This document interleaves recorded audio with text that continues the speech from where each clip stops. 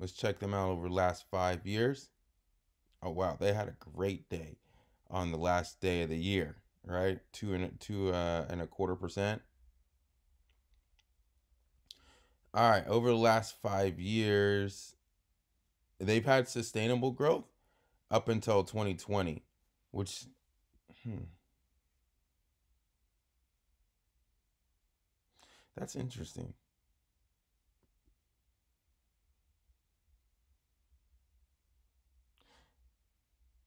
I wonder what the reason I say it's interesting is because once you find out more what this company is involved in, I would think that they would have had more people buying, more trading going on, so which means more fees, more revenue for the company. But since 20 since the coronavirus, they've actually went even further below. Now they're starting to get their their act together and having a 2 2% day to close a year is great. I would like to see them break above this 85, right?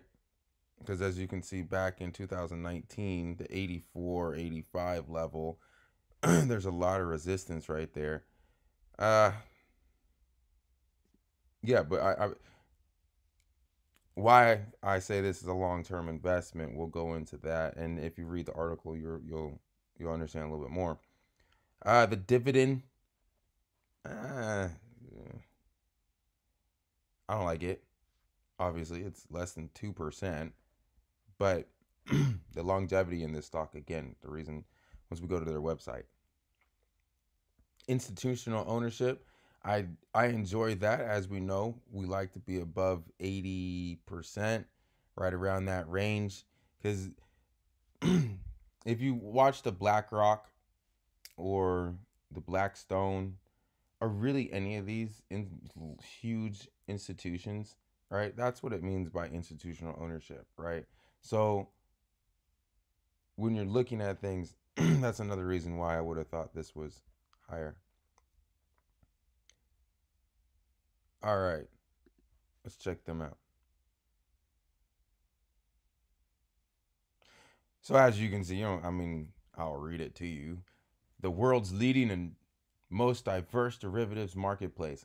So what they do, so the CME Chicago Mercantile Mercantile Exchange, which is located in Chicago, is and they also have the the CBOE, which is the Chicago Board of Options, something like that. So like in futures. So to make it short, all your derivatives, like when when you hear people talk about the option market or the futures market, that's based in Chicago. Well, kind of. The in the electronic version of everything is based like for your commodities is based out of Chicago. Your hard assets is based in Geneva, but that's completely different. We're not talking about that. We're talking about the United States and we're talking about commodities and futures. So the other markets that they have, they're also I, I here right? So if you want to trade, you can trade corn, soybeans, crude, natural gas, uh, the indexes. Um, then they also have they have their own brokerage, they have their own trading platform.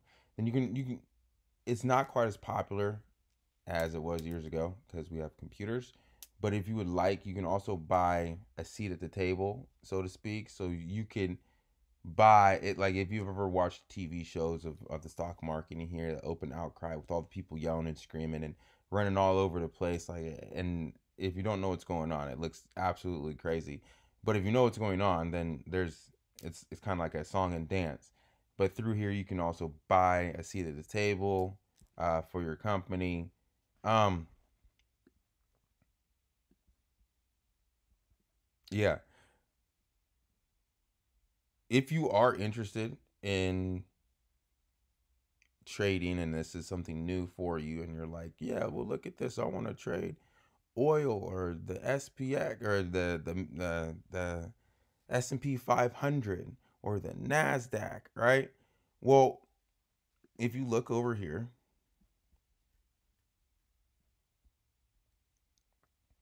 it doesn't seem like a lot.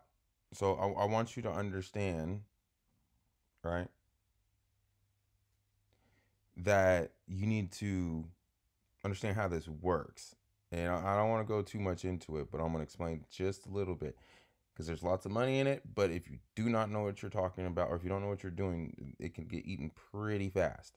All right. So, what this means, all right, minimum tick is 25. Right. So, every time over here, look over here, this is the ESs. So, when you see the SPX or you see the ES, you hear people talk about the S&P 500, right? They're referring this is the future, right? The future is what trades, you know, basically 24 hours a day. Um, opens at Sunday at six o'clock and closes Friday at four. All right. So let's break this down well as you can see right here.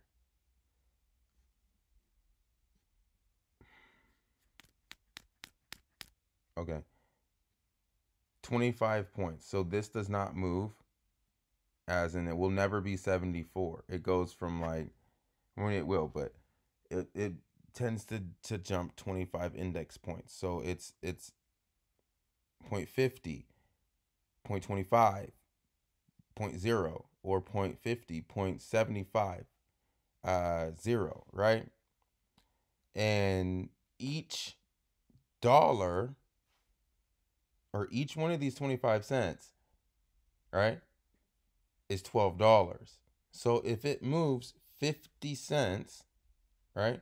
See how this is 24, 50, right? So if it moves that 50 cents, that's $25, right?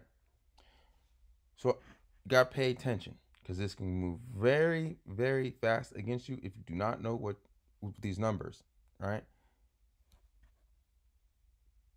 if it moves a dollar, right, which is four quarters, then how much is it worth to you?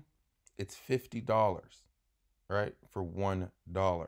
So you need to be paying attention, be very careful because you might not think, oh, well, $50, I got $50, no problem, right? Well, it moved $24 in a day, right? So if you, if you're not, if you have $10,000, because they're going to let you trade with this, and you, I mean, you can even trade with this for less than ten thousand dollars, but we'll use ten thousand dollars. If you think that you're going to trade the SP or the ESs, this one right here, with ten thousand dollars, you need to be very careful, because like I just showed you, and this I think the stock was down maybe ten points today, so that's a range of thirty, right?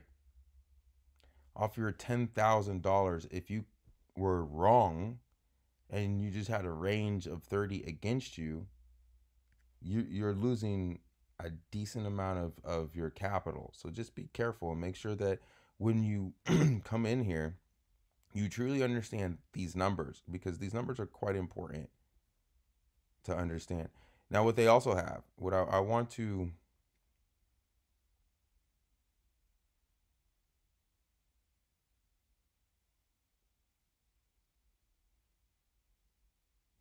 All right. Well, they, they also have options, which that's a whole different um, monster that I don't have time to talk about because I'm already running out of time on that one explanation.